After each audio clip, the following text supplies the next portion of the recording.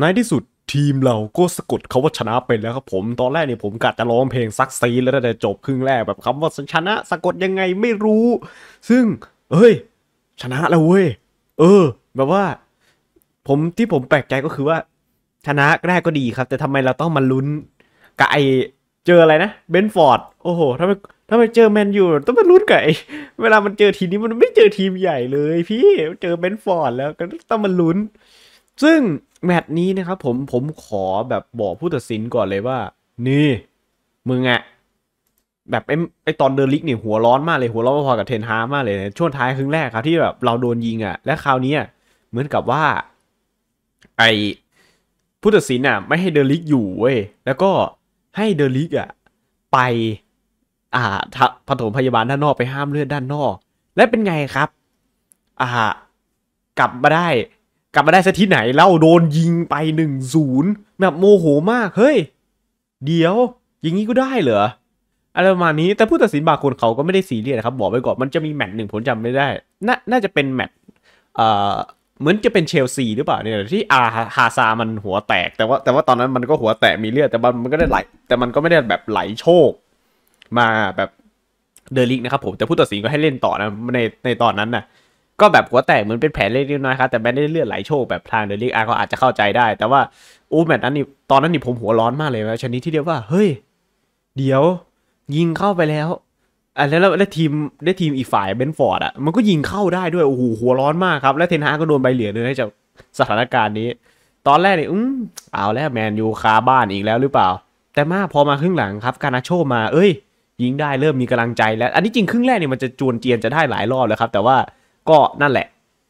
พอมาปุ๊บฮอยลุนนี่ผมคิดว่าว่าเลยว่าฮอยลุนมันจะต้องยิงได้ ผมผมบอกไว้เลยว่าแมตช์นี้ ซึ่งมันก็ยิงได้จริงๆด้วยครับ เป็น 2 ประตูต่อหนึ่งฮอยลุนยิงได้ ซึ่งเป็นสิ่งที่ผมภาคภูมิใจมากนะครับเพราะดีแบบว่าในนักเตะชุดนี้เนี่ยผมชอบฮอยลุนด์ที่สุด ในในชุดนี้นะผมชอบฮอยลุนด์ที่สุดนะครับผมและผมก็หวังว่าไอ้ฮอยลุนด์เนี่ยมันจะได้เป็นตัวจริงยาวๆไอ้เซิร์กซีนี่เวลามันลงมาเนี่ยโอ้โหเล่นอะไรของมึงมึงคิดว่ามึงเป็นตำแหน่งไหนผมไม่เข้าใจแบบเวลาเพื่อน แบบอะไรนะ จะเติมเกมบุกอย่างเงี้ยมันมักจะหายไม่รู้ว่าวิ่งตามไม่ทัน หรือว่ามันแบบประหยัดแรงหรือว่ามันเหนื่อยก็ไม่รู้เพิ่งลงมาอะไรจะเหนื่อยเร็วขนาดนี้ แบบเวลาที่แบบ เพื่อนแบบจะจะบุกแล้วเอ้าเซิร์กซีหาย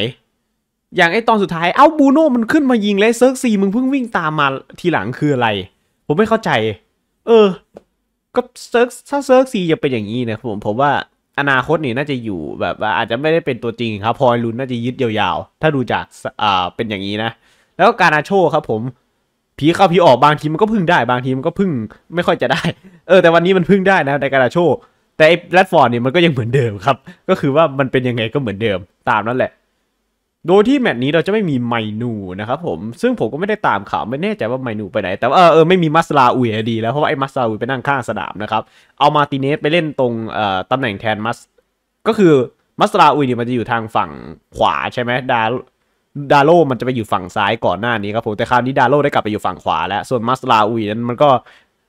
นั่งสำรองไปเขาให้มาร์ติเนซไปอยู่อีกฝั่งหนึ่งก็คือไปอยู่ฝั่งซ้ายแทน ก็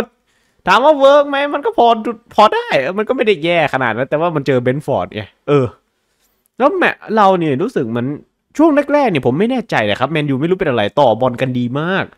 แบบเปิดมาครึ่งแรกนี่โอ้โหต่อบอลกันดีชิบหายเลยแบบตุ๊บตุ๊บตุ๊บตุ๊บแต่พอหลังๆนี่รู้สึก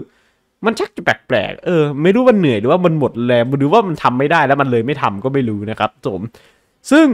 MVP แมตช์นี้ผมให้เลยครับคนนี้คริสเตียนอีริกเซน แทงบอลแต่ละทีนี่อู้หูได้ลุ้นตลอด แต่ว่าครึ่งแรกมันก็จะมีช็อตที่พี่แกหลุดเดี่ยวมายิงข้ามคานแต่ว่าไม่เป็นไรครับ ผมว่าไอ้คนต่อมามันยิงมันก็แม่งข้อข้ามคานเหมือนกันถ้าพยายามผมจะไม่เปลี่ยนมันจะเป็นฮอยลุนหรือเปล่าเอ้ยไม่ไม่ใช่ฮอยลุนนี่มันมันสักคนหนึ่งเนี่ยผมจำไม่ได้ น่าจะเป็นคาเซมิโร่นะที่แบบมันยิงข้ามคานตากันไปเลยก็คืออีอีริกเซนยิงข้ามไปก่อนแล้วก็ตามต่อมาเนี่ยมันเป็นใครสักคนหนึ่งแล้วต่อมาก็จะปิดท้ายด้วยฮอยลุนนะครับแต่ว่าฮอยลุนนี่ไม่ได้ข้ามคานนะอะ ผมให้ MVP แมตช์นี้ครับผมผมชอบทางอีริกเซนมากที่สุดนะครับสำหรับแมตช์นี้ โดยที่ทีมอีกฝ่ายหนึ่งเนี่ยผมก็บอกไปเลยว่ามันก็ไม่ได้ดีเด่อะไรขนาดนั้น แต่เราอาจจะเล่นเหี้ยเองเออ บอกแค่นี้แหละ แมตช์ถัดไปครับผมแมนยูจะไปเยือนน้ามูรินโญ่ครับกุนซือแบบคนโปรดของผมครับโชเซ่มูรินโญซึ่งมูรินโญไปผมก็ยังเสียดายอยู่จนถึงทุกวันนี้เลยนะ น่าเสียดายเหมือนกันครับผม แต่ว่าแกเป็นคนปากจัดปากแจ๋วไปหน่อยนะครับ ไม่ค่อยจะแบบอะไรกันนักเตะนะ ก็แบบอาจจะมีปัญหากัน ซึ่งถ้าเกิดนักเตะมันสู้เพื่อมูรินโญ่อาจจะชนะอาจอาจจะดีกว่านี้ครับผม แต่ช่วงนั้นซิตี้มันมาแรงจริงๆนะ ก็น่าจะเป็นประมาณนี้นะครับผมก็ไหนๆก็ชนะสักทีนะ ก็ถึงแม้มันจะชนะเบนฟอร์ดมันดูไม่ค่อยภูมิใจก็ตาม แต่ก็อพอถูดูได้ไถได้ไม่แย่ครับผม อะก็สำหรับวันนี้ใครดีใจก็